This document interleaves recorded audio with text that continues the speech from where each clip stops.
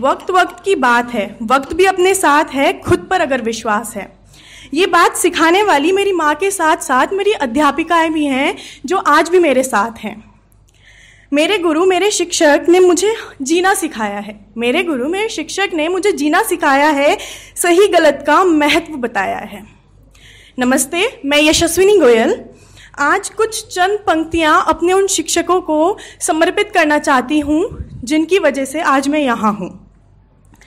तो शुरुआत मैं उस वक्त से करना चाहूँगी जब मैं पहली बार अपनी शिक्षिका से मिली थी। तो याद है वो पल, याद है वो पल कि मेरे माँ बाप रोता छोड़ आए थे उनके हाथों में मुझे। याद है वो पल कि मेरे माँ बाप रोता छोड़ आए थे उनके हाथों में मुझे। टॉफ़ी चॉकलेट दे के वो चुप कराया करती थी। टॉफ़ी चॉकलेट दे के वो चुप कराया करती थी, उसके बाद खूब पढ़ाया करती थी। टॉफ़ी चॉकलेट दे के वो चुप कराया करती थी, उसके बाद खूब पढ़ाया करती थी। याद है वो वक्त जब अपने टीचर को परेशान किया करते थे? याद है वो वक्त जब अपने टीचर्स को परेशान किया करते थे? कई बार तो उनकी बात सिर के ऊपर से ले जाया करते थे। कई बार तो उनकी बात सिर के ऊपर से ले जाया करते थे, इस वजह से डांट भी बहुत खाई है। क्योंकि बेशर्मी की हद तो हम ही ने पार कर रखी थी। इस वजह से डांट बहुत खाई है, क्योंकि बेशर्मी की हद भी हम ही ने पार कर रखी थी। शायद उनकी डांट की वजह से आज हम यहाँ हैं। शायद उनकी डांट की वजह से आज हम यहाँ हैं, इसलिए वो डांट भी आज बहुत याद आती है। आज बहुत याद आते हैं वो पल। आज बहुत याद आते हैं वो पल जब मैम की डांट, जब मैम की डांट का डर हुआ करता था। आज भी बहुत याद आते हैं वो पल जब मैम की डांट खाने के डर से रिसर्च में कॉपी पूरी किया करते थे। उनके आने पर गुड बॉय, गुड गर्ल का टैग लेने के लिए कॉपी चेकिंग में सबसे आगे जाके लगा करते थे। आफ्टर ऑल फेवरेट टीचर हुआ करती थी। आफ्टर ऑल फेवरेट टीचर हुआ करती थी शायद शायद हमसे ज़्यादा, शायद हमसे ज़्यादा हम पर वो भरोसा किया करती थी।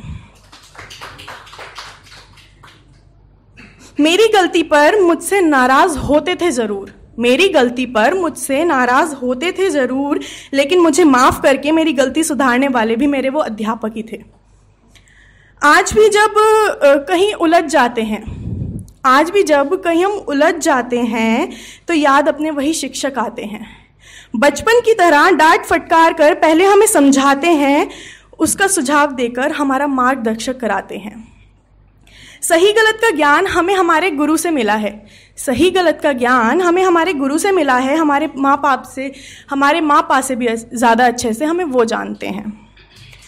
बड़े सपने देखना मैंने अपने गुरु से सीखा है। बड़े सपने देखना मैंने अपने गुरु से सीखा है। उन सपनों को साकार करने का उन्होंने मुझे हौसला दिया है।